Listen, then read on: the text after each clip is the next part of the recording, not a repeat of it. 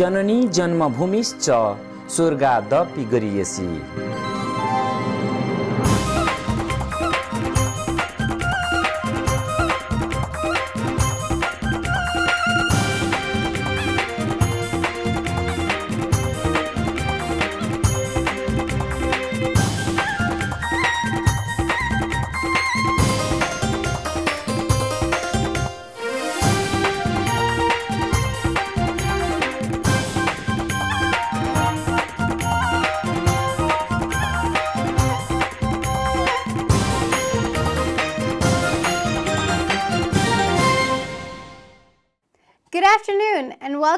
Sagarmatha Television. Sagarmatha is the Nepali name for Mount Everest, the highest mountain in the world. It is also known as the rooftop of the world. Sagarmatha Television is the first Nepali television program ever to be produced and broadcasted outside of Nepal in the Nepalese history. Namaste, this is Indu Bokrail, your host for today's program. Now, let's learn another fact about Nepal. Dear viewers, did you all know that people in Nepal greet one another by saying namaste or namaskar with their palms together and bow their forehead? Namaste is directly translated as I salute the God in you. That's quite interesting, isn't it? Now, before we begin, we would like to thank our supportive underwriters who helped make Sagarmatha Television possible in part.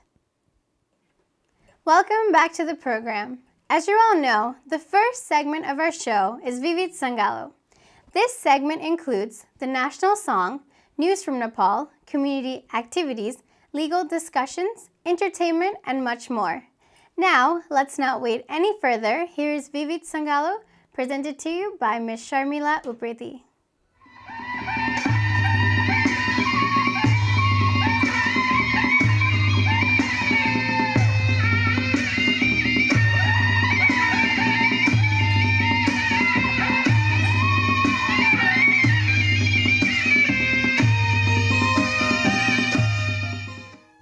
गौरवशाली नेपाली हामी देशका पहरेदार। नेपाली नेपालीमा foot हुने काम नगरौँ है खबरदार। नेपाली भई बाँचौँ है हामी सानले यो संसारमा। नगरौँ गल्ती जहाँ बसे पनि अरूका भरमा। एकले अर्कालाई गरेमा सहयोग हुन्छ है उन्नति। सकारात्मक सोच राखेमा अवश्य हुन्छ हाम्रो जीवनमा प्रगति। सकारात्मक सोच राखेमा अवश्य हुन्छ हाम्रो जीवनमा प्रगति। यी आफ्ना मनमा लागेका हरफहरूसहित आजको यो विविध सङ्गालो कार्यक्रमबाट म शर्मिला उप्रेतीको नमस्कार। आदरणीय दर्शकवृन्द आज मे चौबिस तारिक इस्वी सम्बत दुई हजार पन्ध्र तदनुसार विक्रम सम्बत दुई हजार बहत्तर साल ज्येष्ठ दस गते आइतबार षष्ठी तिथि। अब यहाँहरूलाई स्वागत छ आजको यो विविध सङ्गालो कार्यक्रममा। दर्शकवृन्द अब हामी आजको यो विविध सङ्गालो कार्यक्रम सुरु गर्न चाहन्छौँ यो एउटा नेपाली गीतबाट। हजारौं मरे घाइते भए ढले। गले सयौं सम्पदा। काँप्छ मुटु गल्छ अझै त्यो कालो दिन सम्झदा। भुइँचालोको त्यो गति सम्झदा। जे जे भयो त्यो क्षति सम्झदा। नारी नारी।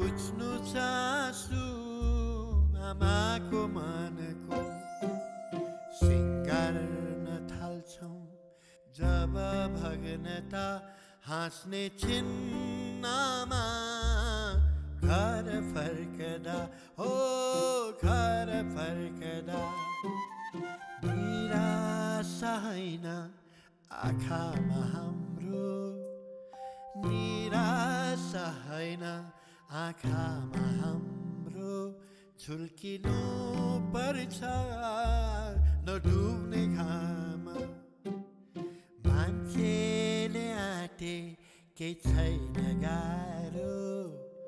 मान्छेले आँटे केही छैन गाह्रो। सकिन्छ गर्न जुनसुकै काम। हिँड्छौँ जब भिन्नता सकिन्छ जित्न सबै उच्चता हो सबै उच्चता।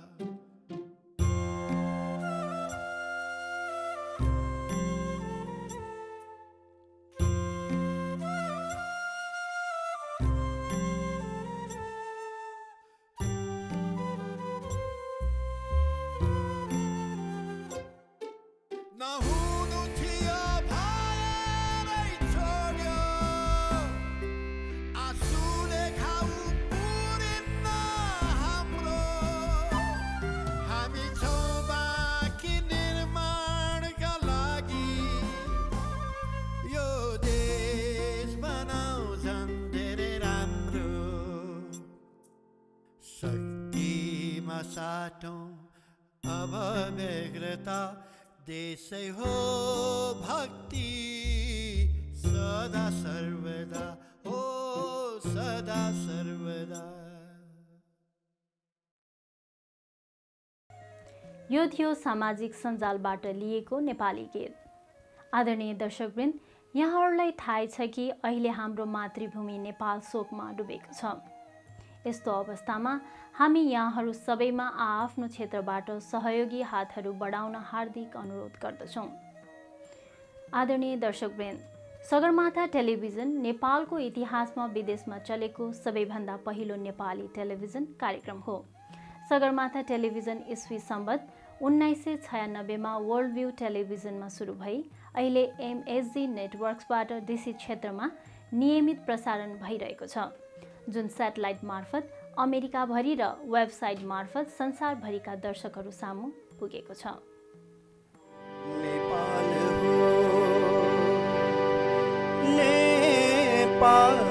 हो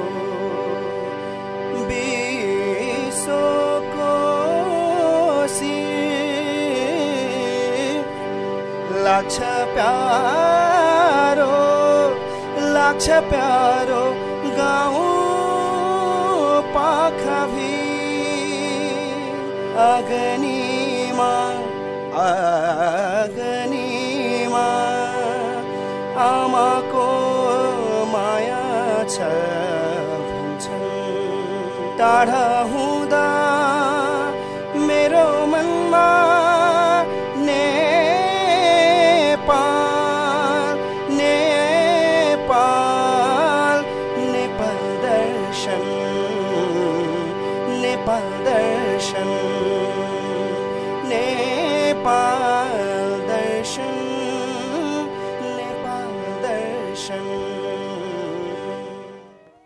थियो हाम्रो दोस्रो प्रस्तुति नेपाल दर्शन टेलिभिजनको एक झलक। नेपाल दर्शन टेलिभिजन अहिले हरेक आइतबार दिउँसो ठिक एकतिस बजे अर्थात् यो कार्यक्रमको लगत्तेपछि यही एमएसजी नेटवर्क्समा प्रसारण हुँदैछ। आशा छ यहाँहरूले अवश्य छुटाउनु हुने छैन। नेपाल दर्शन टेलिभिजनको एक मुख्य उद्देश्य हो नेपालको परिचय विदेशीहरूलाई दिई उनीहरूलाई नेपाल घुम्न आकर्षण गर्नु अर्थात् नेपालको पर्यटन प्रवर्धनमा सहयोग पुर्याउनु।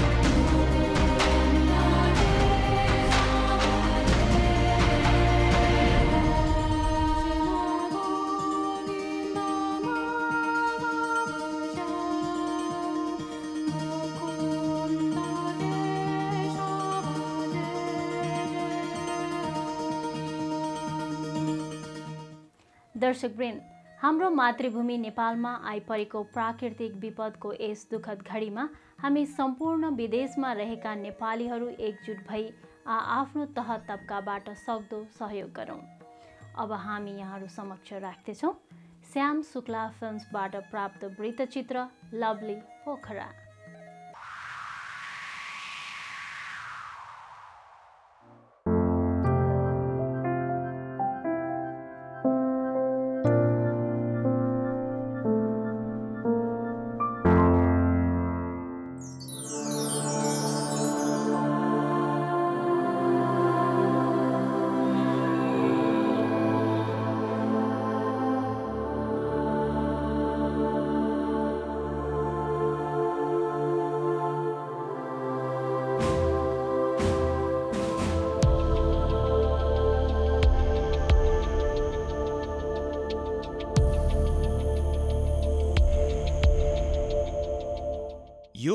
हाम्रो नेपाल।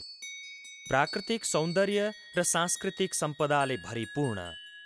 निश्चल छन् नेपालीहरू र पाहुनाको स्वागतमा रमाउँछन्। अतिथि देवो भव अर्थात् पाहुनालाई देवता सरह मान्नु नेपालीको परम्परा र संस्कृति पनि हो। त्यही भएर वर्षेनी लाखौँ पर्यटक नेपाल भ्रमणमा आउँछन्।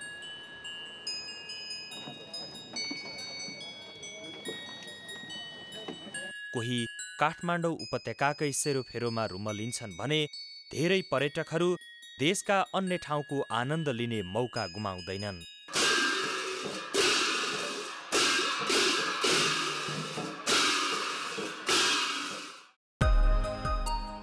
काठमाडौँ पछिको पहिलो पर्यटकीय गन्तव्य हो पोखरा। राजधानी काठमाडौँबाट पच्चिस मिनटको हवाई यात्रा अर्थात् पाँच छ घन्टाको दुई सय किलोमिटर लामो बस यात्रामा सजिलै पुगिन्छ पोखरा। नेपालको उत्तरी सिमानाबाट सिधा उड्ने हो भने पोखरा बहत्तर किलोमिटर दक्षिण र दक्षिणी सिमानाबाट अठहत्तर किलोमिटर उत्तरमा पर्छ। हिमालको काखमा रहेको पोखरा मानिसले कल्पना गर्न सक्ने भन्दा सुन्दर र आकर्षक छ।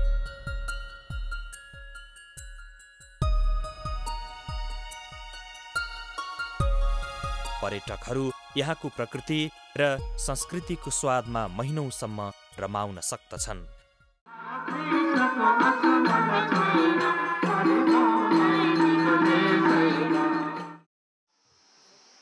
त्यसो त पोखरा अन्नपूर्ण र धौलागिरी पदयात्राको प्रवेशद्वार पनि हो। पोखरा आउने सत्तरी प्रतिशतभन्दा बढी पर्यटक पदयात्रामा जान्छन्। पोखरा भएर गरिने पदयात्रा मध्ये राउन्ड अन्नपूर्ण पदयात्रा विश्वकै सर्वोत्कृष्ट ट्रेकिङ रुट हो। लमजुङको बेसी सहरबाट सुरु भएर मनाङ मुस्ताङ हुँदै पाँच हजार चार सय सोह्र मिटर उचाइको खोराङ पास गरी बाइसदेखि चौबिस दिनमा पुरा गर्न सकिन्छ राउन्ड अन्नपूर्ण पदयात्रा। यसै गरी पोखरा हुँदै गरिने यात्रामा धौलागिरी आधार शिविर धम्पुस पुनहिल घान्द्रुक मुक्तिनाथ सिक्लेस सिरुबारी पञ्चासे रोयल ट्रेक र पिपरताल उत्कृष्ट छन्। भूगोलविदहरूका अनुसार हजारौं वर्ष पहिले अन्नपूर्ण हिम श्रृङ्खलाको कुनै हिमताल फुटेपछि आएको बाढीले समतल पोखराको निर्माण गरेको थियो। त्यसैले होला पोखरेली भूमिको पिँधमा रोडा ढुङ्गा र बालुवा पाइन्छ। स्विट्जरल्यान्डका विख्यात भूगोलविद टोनी हेगनका अनुसार उहिले पोखरा ठुलो पोखरी थियो र पछि बस्ती बस्न योग्य ठाउँ बन्यो। पोखरामा अहिले पनि धेरै तालहरू छन्। सन् सत्र सय बाहन्नमा कास्की राज्यका राजाले भक्तपुरबाट नेवार जाति बोलाएर पोखरामा व्यापार व्यवसायको जग बसाएका थिए। उनीहरूको कला शैली पोखराको बगर भैरवटोल रामकृष्ण टोल नालाको मुख गणेश टोल र बागबजार वरिपरि अझै पनि देख्न पाइन्छ। यसै क्रममा पोखरामा हिन्दू र बौद्ध मार्गीको बसोबास बाक्लिँदै गयो। पोखरामा मुख्यत गुरुङ मगर थकाली बाहुन क्षेत्री नेवार गन्धर्व लगायतका जात जातिको बसोबास छ।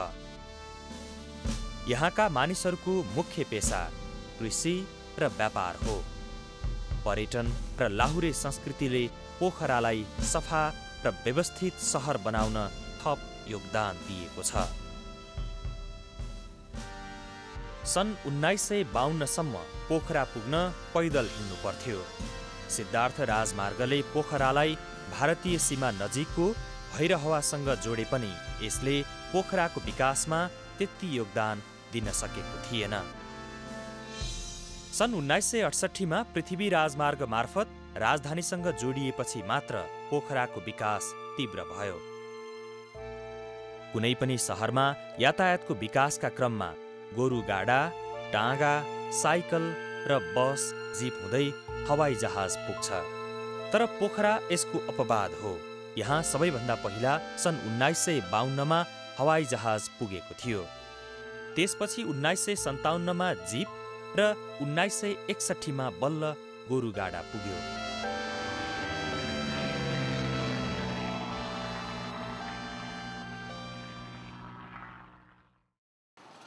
न गर्मी न त चिसो हावापानी छ पोखरामा।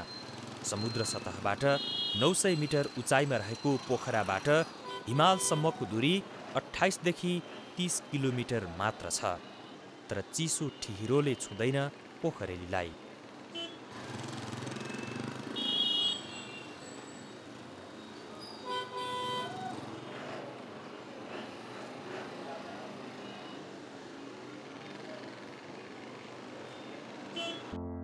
पोखरामा आठ हजार मिटर उचाइका हिमाल पहाड नदी झरना गल्छी गुफा लगायत विभिन्न वातावरणीय एवं पर्यावरणीय विविधता पाइन्छ। त्यसो त छिनमै पानी पर्ने र छिनमै उभाउनु पोखराको अनौठो विशेषता हो। नेपालमै सबैभन्दा बढी पानी पर्ने स्थान पनि पोखरा नै हो। पोखरा पुग्ने बित्तिकै देखिने हिमाली दृश्यहरूले मानिसलाई मन्त्रमुग्ध बनाउँछन्। उनीहरू एक टकले उत्तरतिर हेरिरहन्छन्। चाहे पोखरा मात्रको भ्रमणमा आएका पर्यटक हुन् या पोखरा भएर अन्यत्र घुम्न जान चाहने यात्री हुन्। दुई चार दिन पोखरा नबसी छाड्दैनन्। पोखरा शब्द सुन्ने जोसुकैको मस्तिष्कमा माछा पुछ्रे हिमालको बिम्ब आउँछ। यो हिमाल पोखरा चिनाउने ट्रेडमार्क हो। माछा पुछ्रे हिमालको चुच्चो माछाको पुच्छर जस्तो भएकाले यसको नाम माछा पुछ्रे हिमाल रहेको हो।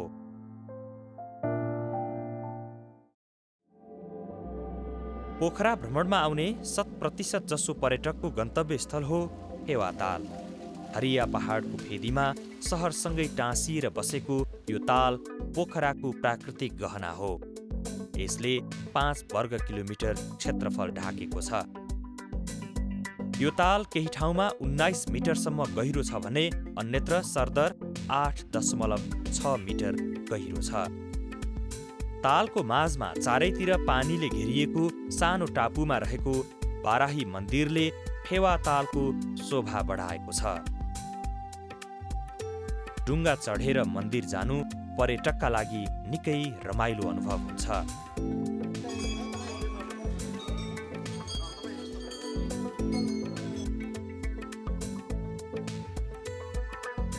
फेवाताल सयर गर्न भाडामा पाइन्छन् डुङ्गाहरू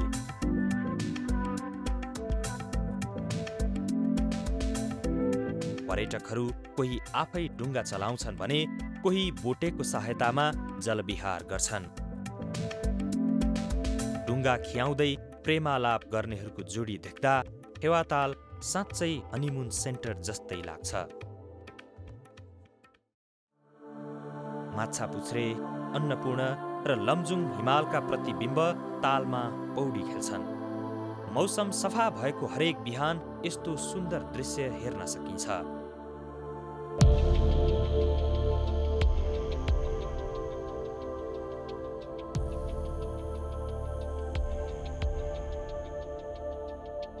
साँझ पखको फेवा तालको अर्कै खालको आकर्षण छ।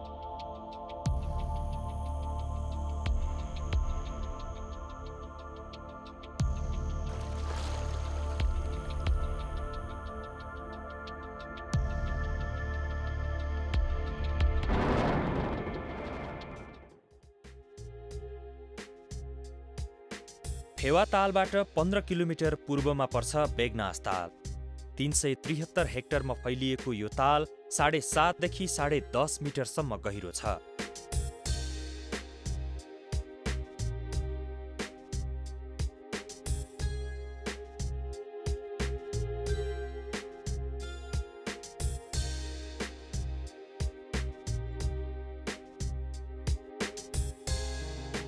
कास्की र लमजुङ जिल्लाका थुप्रै गाउँका बासिन्दाको जलमार्ग बनेको छ बेगनास ताल। बेगनास तालको आडैमा मत्स्य अनुसन्धान केन्द्र छ। ताल वरपरका रेस्टुरेन्टहरूमा माछाको स्वाद लिनुको मज्जै बेग्लै हुन्छ। यो हो पोखराको अर्को ताल रूपा ताल। एक सय पन्ध्र हेक्टरमा फैलिएको नागबेली आकारको यो ताल र वरपरको क्षेत्र जैविक विविधताले धनी छ। यहाँ एक सय भन्दा बढी प्रकारका जडीबुटी पाइन्छन्।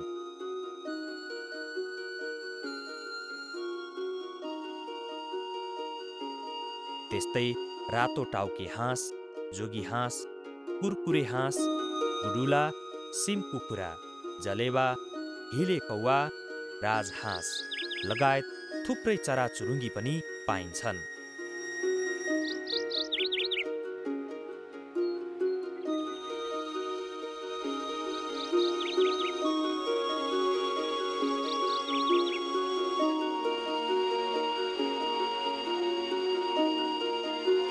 रूपाताल पर्यावरणीय पर्यटन स्थलका रूपमा पनि चिनिन्छ।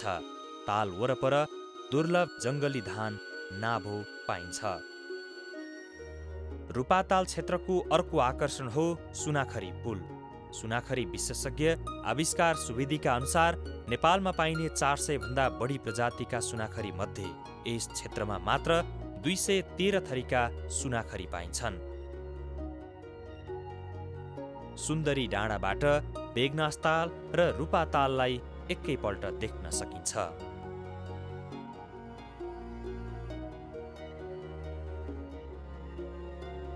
पोखरा उपत्यकाभित्र अरू पनि तालहरू छन्। खास्टे न्युरेनी गुँदे दिपाङ र मैदी ताल पनि पर्यटकहरूका लागि आकर्षक गन्तव्य हुन्। यी तालमा कमल फुल विभिन्न प्रजातिका पानी हाँसले यिनको शोभा बढाएका छन्। सिमसार क्षेत्रका यी ताल क्षेत्र धेरै थरी चराचुरुङ्गीका सुरक्षित वासस्थान पनि हुन्। जहाँ साइबेरियादेखिका चरा वर्षेनी आउँछन्। बेगनास ताललाई बोटिङ रूपालाई कायाकिङ खास्टे र न्युरेनीलाई बर्ड वाचिङ गुँदेलाई फिसिङ दिपाङलाई हनिमुन मैदीताललाई पौडी र मेडिटेसन स्थलका रूपमा विकास गर्ने योजना बनाइएको छ। साथै गुँदे तालदेखि खास्टे हुँदै सबै ताल जोडेर सत्ताइस किलोमिटरको पदयात्रा मार्गको रूपरेखा पनि कोरिसकिएको छ।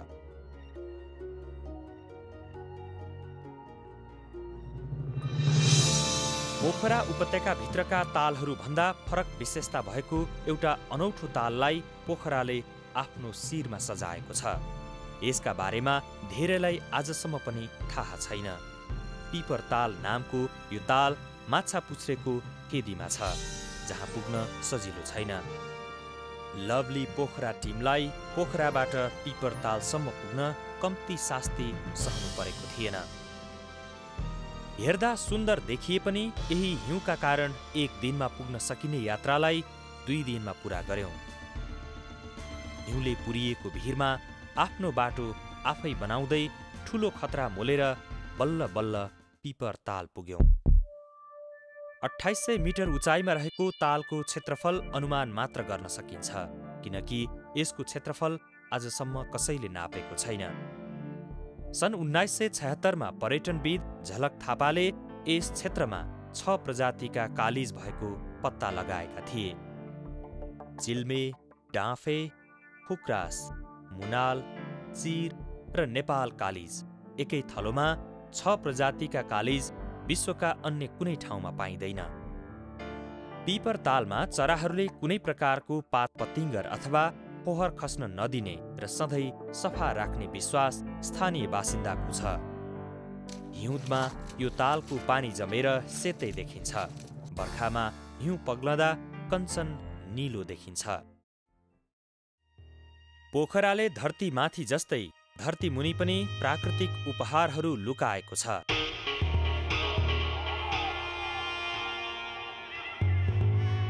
यहाँ साना र ठुला थुप्रै गुफा छन्।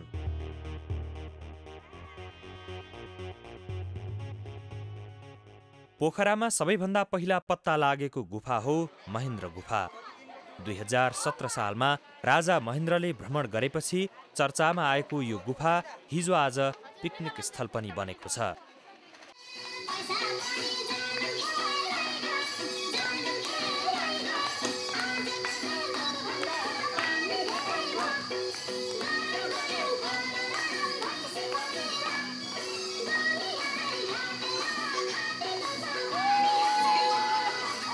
बिजुलीको व्यवस्था भएकाले गुफाभित्र छिर्न सजिलो छ।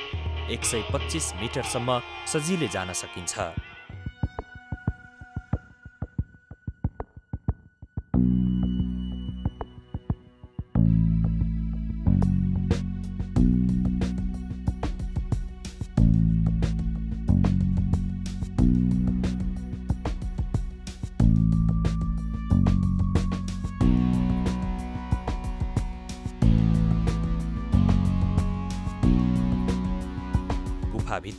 थुप्रै आकृति बनेका छन्। शिवलिङ्ग ती मध्येको एक हो। गुफाभित्र सहायक गुफा पनि छन्। गुफासँग नडराउने व्यक्तिहरू यो सानो पलबाट पनि बाहिर निस्कन्छन्। यसरी निस्कँदा आफूलाई बहादुर सम्झन्छन्। थुप्रै मानिसको आवत जावतले गर्दा गुफाभित्रको असली बनोट अहिले देख्न पाइँदैन।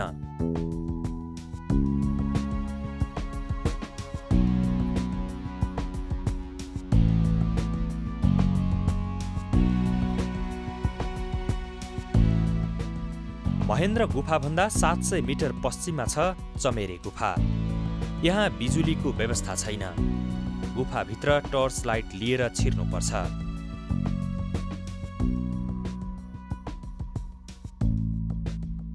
गुफाभित्रको पहिलो भाग सजिलै पार गर्न सकिन्छ भने दोस्रो भाग छिर्न थोरै मेहनत गर्नुपर्छ।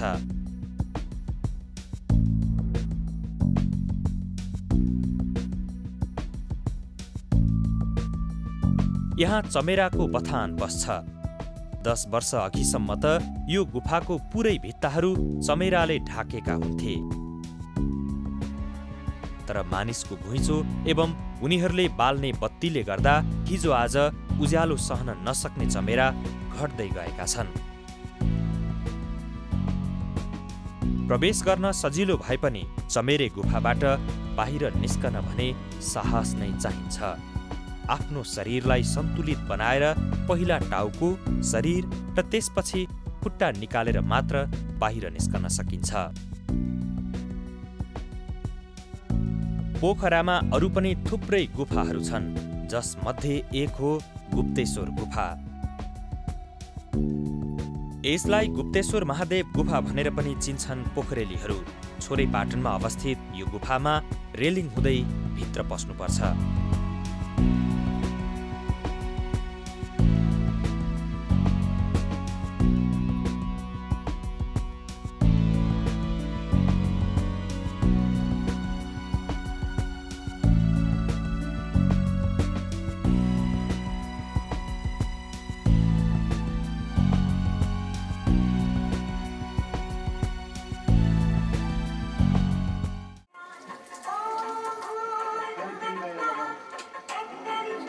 गुफाको सुरुतिर कामधेनु गाई भेटिन्छ।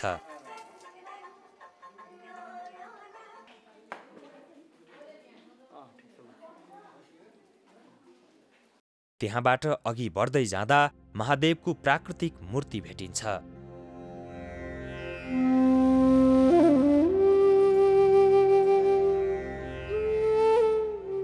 यो मूर्तिको फोटो अथवा भिडियो खिच्न प्रतिबन्ध छ तर हामीले भगवानको फोटो खिच्न पाप हुँदैन भन्ने सम्झ्यौँ र गुफाका पुजारीको आँखा छलेर भिडियो खिच्यौँ।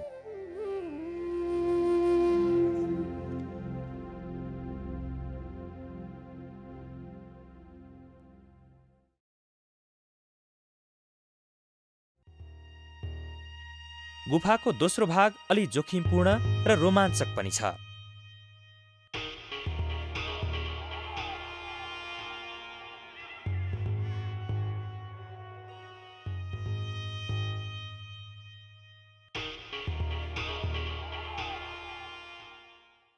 यहाँ भित्र विभिन्न आकृति देखिन्छन्।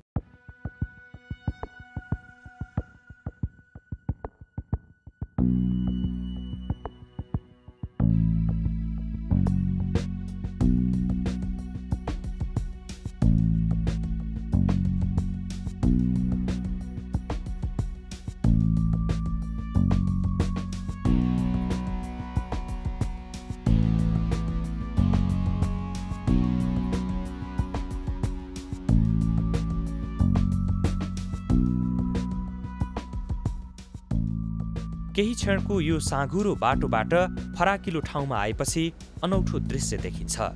ओहो यो हो पातले छाँगो अर्थात् डेभिज फल्स।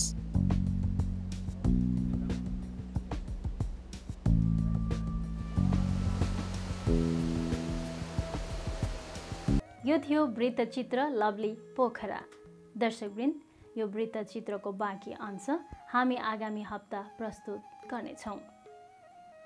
आदरणीय दर्शकवृन्द यहाँहरूलाई थाहा छ कि सगरमाथा टेलिभिजनको एक मुख्य उद्देश्य हो नेपाली समुदायमा सेवा पुर्याउनु जसमा हामीले ट्याक्स सम्बन्धी जानकारी कानुनी परामर्श मेडिकल टिप्स धार्मिक जानकारी तथा अन्य कार्यक्रम प्रस्तुत गर्दै आएका छौँ जस अनुरूप अब पालो भएको छ कानुनी परामर्शको जसमा नेपालमा गएको भूकम्पको विपत्तिपछि अमेरिकाको नियम कानुनमा भएको परिवर्तनका साथै सबैतिर चर्चामा रहेको विषय टिपिएस अर्थात् टेम्पोररी प्रोटेक्टेड स्टेटस सम्बन्धी जानकारी प्रस्तुत गर्दै हुनुहुन्छ कानुनविद वन्दिता दहाल। नमस्कार। सगरमाथा टेलिभिजन हेर्नुहुने समस्त दर्शकवृन्दमा म इमिग्रेसन अटर्नी वन्दिता दहालको हार्दिक अभिवादन। सधैँ झैँ यहाँ आज पनि यहाँहरूको सामु इमिग्रेसनको बारेमा केही विषय लिएर आएकी छु। र आजको विषयको सन्दर्भ छ नेपालमा हालचालै गएको विनाशकारी भूकम्प र त्यो भूकम्प जसले को कारणबाट अमेरिकी कानुनमा भएका केही नयाँ नियमहरू। यहाँहरूलाई एउटा जानकारी के गराउन चाहन्छु भने कति नियमहरू जुन यहाँले चाहिँ आज धेरै सुनिरहनु भएको छ जुन कि टिपिएसको बारेमा सुनिरहनु भएको छ अथवा भनौँ युएससिआइएसले निकालेको नयाँ नियमको बारेमा सुनिरहनु भएको छ यसमध्ये कतिवटा व्यवस्थाहरू आइसकेको छ र कतिवटा व्यवस्थाहरू आइसकेको छैन। म पहिला यहाँहरूलाई टिपिएस जसलाई चाहिँ टेम्पोररीली प्रोटेक्टेड स्ट्याटस भन्छन् त्यसको बारेमा अलिकति जानकारी दिन्छु। सो टेम्पोररीली प्रोटेक्टेड स्ट्याटस नामैबाट पनि थाहा हुन्छ यो भनेको पर्मानेन्ट स्ट्याटस होइन। टेम्पोररी स्ट्याटस हो। टेम्पोररी कहिलेसम्म त भन्दाखेरि कुनै पनि कारणले गर्दाखेरि जस्तो भनौँ संसारमा विभिन्न कारणले गर्दाखेरि जस्तो भनौँ नेचुरल अर्थक्वेक भन्यो हरिकेन भयो जुन नेचुरल डिजास्टर हुन्छ त्यस्तै कुनै पनि कन्ट्रीमा आर्म कन्फ्लिक्टहरू भइरहेको हुन्छ। त्यो रिजनले गर्दाखेरि त्यो कन्ट्रीमा जानको लागि वा बस्नको लागि अप्ठ्यारो भएको अथवा भनौँ इम्पोसिबल र गाह्रो भएको अवस्थामा गर्दाखेरि अमेरिकामा भएका त्यो कन्ट्रीको नागरिकहरूको लागि टेम्पोररीली प्रोटेक्टेड स्ट्याटस दिइने हो। जेनरली छ महिना अठार महिना हुनसक्छ पछि एक्सटेन्ड पनि हुनसक्छ र टेम्पोररीली प्रोटेक्टेड स्ट्याटस दिने प्रोसेसहरू पनि छ तर विषय के हो भन्दाखेरि उद्देश्य चाहिँ जस्तो अहिले नेपालकै परिप्रेक्ष्यमा हेर्ने हो भने नेपालमा गएको भूकम्पले गर्दाखेरि अमेरिकामा बसेको नेपालीहरूलाई डिरेक्टली कसरी इम्प्याक्ट परेको छ त? अल्दो भूकम्प पीडित त अमेरिकामा बसेको नेपालीहरूलाई भन्ने मिल्दैन तर उहाँहरूले नेपालमा गएर फर्किएर सायद त्यही नै इकोनोमिकल अपर्च्युनिटी गर्न नमिलोस् अथवा भनौँ उहाँहरूलाई पनि हेल्थको इस्युजहरू आउन सक्छ। र उद्देश्य चाहिँ ह्युमेनिटेरियन ग्राउन्डमा नेपाललाई नै हेल्प गर्ने उद्देश्य हो। यदि नेपालीहरू अमेरिकामा बसेर सर्टन पिरियडसम्म बस्न पाउनुहुन्छ र बस्न पाएर पनि वर्क पर्मिट पाउनुहुन्छ भने उहाँहरूले वर्क गरेर अल्टिमेटली नेपाललाई नै फाइदा गर्ने उद्देश्यले गर्दाखेरि त्यो त्यो कन्सेप्ट चाहिँ त्यो हो कि र अर्को कुरा कुनै पनि ठाउँमा जस्तो भनौँ अहिले नेपालमै भनौँ त्यहाँको मान्छेको त्यहाँ नै लाइफ रिस्की भइरहेको बेलामा यहाँबाट अझ धेरै मान्छेहरूलाई तिमीहरू यहाँ बस्न पाउँदैनौ भनेर फर्काउन चाहिँ ह्युमेनिटेरियन रिजनमा हुन्न भनेर। सो त्यो कन्सेप्ट हो टेम्पोररीली प्रोटेक्टेड स्ट्याटसको अहिले नेपाललाई टेम्पोररी प्रोटेक्टेड स्ट्याटस दिइसकिएको छैन। किनभने जेनरली टिपिएस पाउनको लागि एउटा प्रोसिजियर हुन्छ। त्यो प्रोसिजियर पुरा गर्ने भइसकेको छैन। अल्दो सुरुवात भइसकेको छ। जेनरली दुईवटा प्रोसेस भनौँ।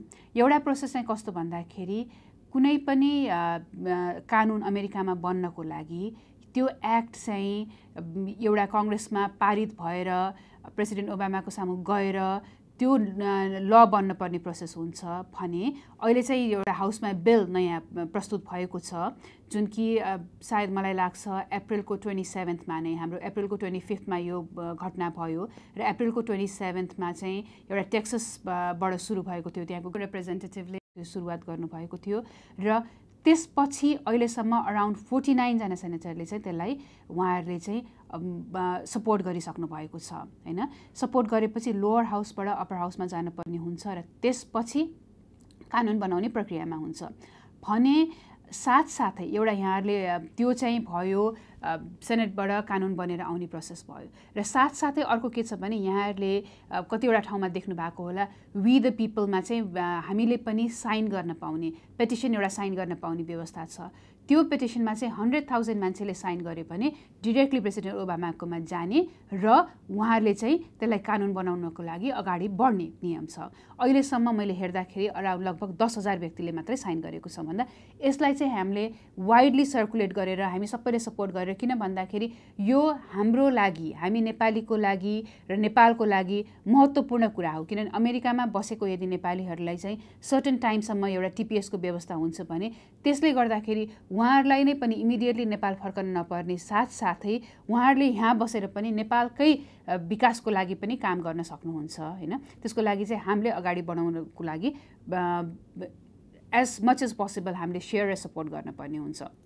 र यही क्रममा अमेरिकामा भएका विभिन्न अर्गनाइजेसनहरू नेप्लिज अर्गनाइजेसनहरू पनि अगाडि लाग्नु भएको छ र विभिन्न व्यक्तिहरू पनि लाग्नु भएको छ। एउटा चाहिँ के जानिरहँ भने टिपिएस अहिले लागू भइसकेको छैन र टिपिएस लागू हुनको लागि विभिन्न फन्डामेन्टल इस्युजहरू पार हुनुपर्नेछ। र अर्को कुरा टिपिएस भइसकेपछि पनि टिपिएसले के गर्छ त भन्दाखेरि कुनै पनि व्यक्तिलाई ग्रिन कार्ड वा सिटिजनको लागि चाहिँ त्यो व्यवस्था होइन टिपिएस पाएपछि ग्रिन कार्ड वा सिटिजनमा चेन्ज गर्न पाइने पाइँदैन होइन।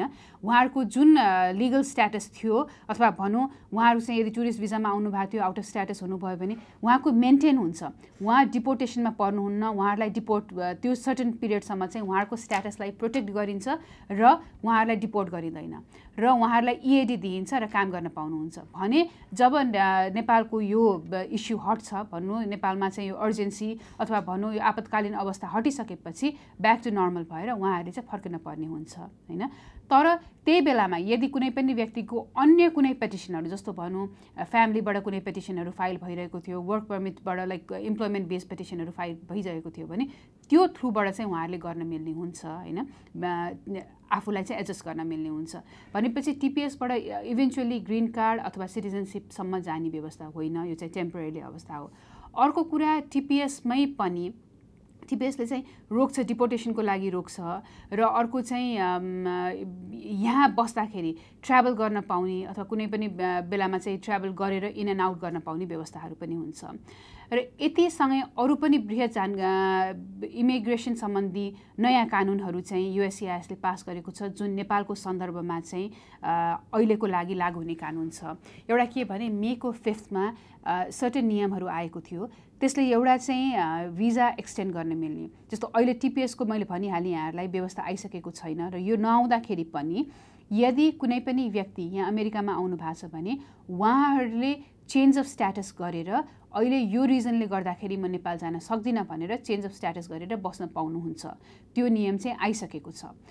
अर्को कुरा यदि यहाँहरू कोही स्टुडेन्ट हुनुहुन्छ भने यहाँहरूलाई चाहिँ घरबाट फाइनेन्सियली सपोर्ट गरिरहनु भएको थियो भने अहिले मेरो घरको मेरो परिवारको मेरो प्यारेन्ट्सहरूको चाहिँ फाइनेन्सियली सपोर्ट गर्ने अवस्था छैन किन नेपालमा अहिले इकोनोमिकल कुनै पनि ग्रोथ अहिले भइरहेको छैन र उहाँहरूको इम्प्लोइमेन्टले पनि उहाँहरूले अहिले सपोर्ट गर्न सक्नुहुन्न भनेर यहाँहरूले चाहिँ एउटा वर्क अथोराइजेसनको लागि यहाँहरूले फाइल गर्न पाउनुहुन्छ र त्यो वर्क अथोराइजेसनबाट चाहिँ यहाँहरूलाई इएडी कार्ड आइसकेपछि चाहिँ यहाँहरूले जुन अहिले लिमिटेड स्कुलमा मात्रै काम गर्ने होइन कि आउट अफ स्कुल पनि काम गर्न पाउनुहुन्छ।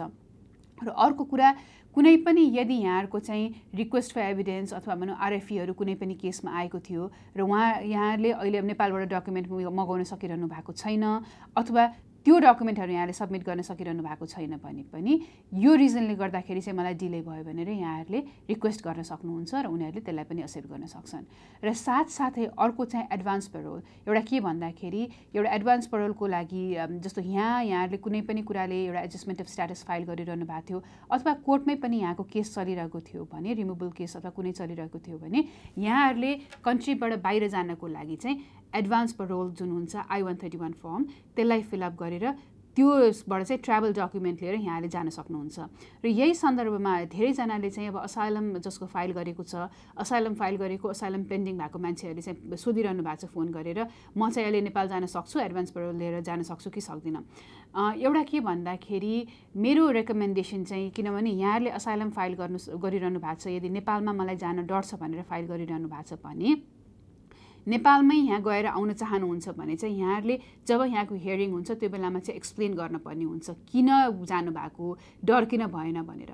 यस एडभान्स पेरोल यदि अप्रुभ भयो भने you will be able to go तर उनीहरूले एज एन एक्सेप्सन म एउटाचोटि गएको थिएँ यो रिजनले गर्दा गएको थिएँ भनेर यहाँले एक्सप्लेन गर्न सक्नुहुन्छ हुन्छ तर they will be a question will be raise त्यो चाहिँ आफूले नै गर्नुपर्ने डिसिजन हो होइन? र साथसाथै अरू कुराहरूमा पनि जस्तो यहाँको ग्रिन कार्डहरू यदि यु नो मिसप्लेस भएको छ भने त्यसको लागि रिन्यू गर्नको लागि अथवा भनौँ सब्सिट्युट अप्लाई गर्नको लागि यहाँले सक्नुहुन्छ होइन? र कुनै पनि कुरामा यहाँले फी वेभरको लागि पनि अप्लाई गर्न सक्नुहुन्छ। सो अहिले आएको नियमहरू चाहिँ यो हो। र यदि बा बाँकी अरू कुनै नियमहरू पनि आउँछ भने हामी चाहिँ सगरमाथा टेलिभिजनको थ्रुबाट यहाँहरूलाई जानकारी गराउनेछौँ। आजको लागि यति नै। धन्यवाद।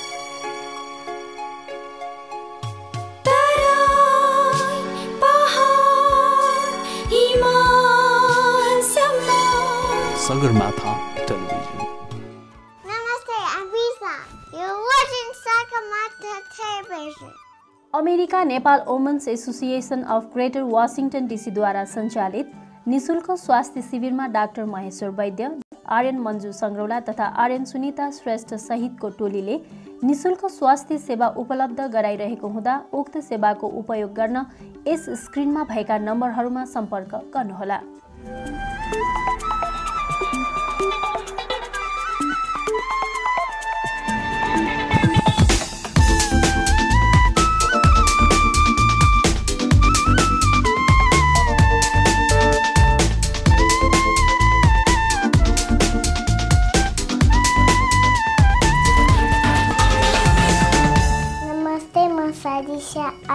तब हरै हुनुहुन्छ सगरमाथा टेलिभिजन दर्शकवृन्द हामी आजको यो विविध सङ्गालो कार्यक्रमको अन्त्यतिर आइसकेका छौँ सगरमाथा टेलिभिजन तथा नेपाल दर्शन टेलिभिजन तपाईँहरूको सहयोग सल्लाह सुझाव तथा प्रतिक्रियाहरूको सधैँ अपेक्षा गर्दछ जसका लागि हाम्रो ठेगाना हो Sagarmatha television post box fourteen hundred Lorton Virginia two two zero seven nine हामीलाई इमेल गर्न सक्नुहुनेछ।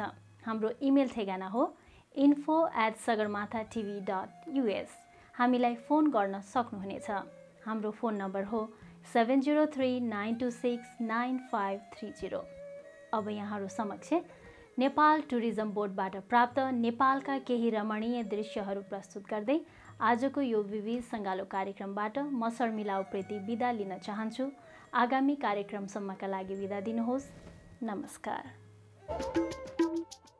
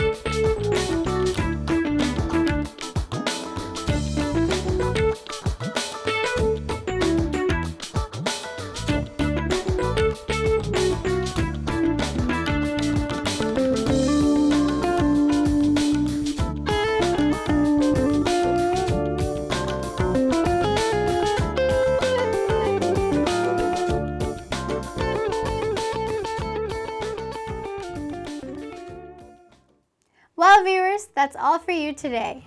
We hope you've enjoyed today's episode of Sagarmatha Television.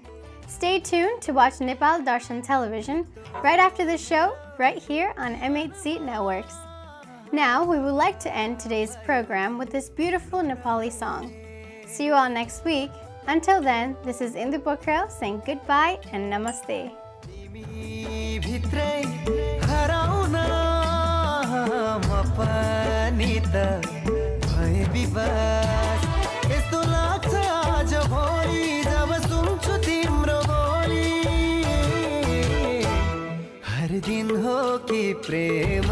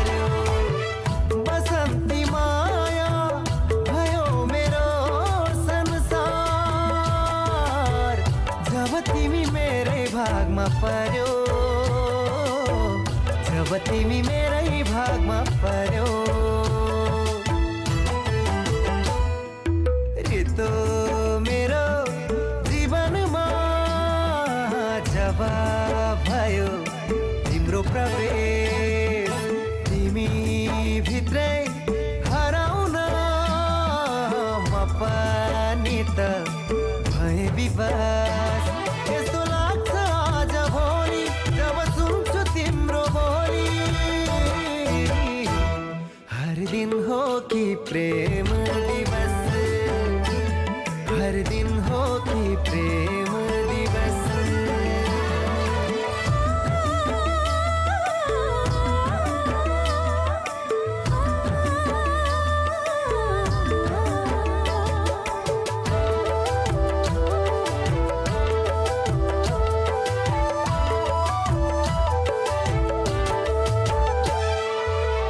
जता म हेर्छु आकृति तिम्रो आउँछ आँखा वरिपरि।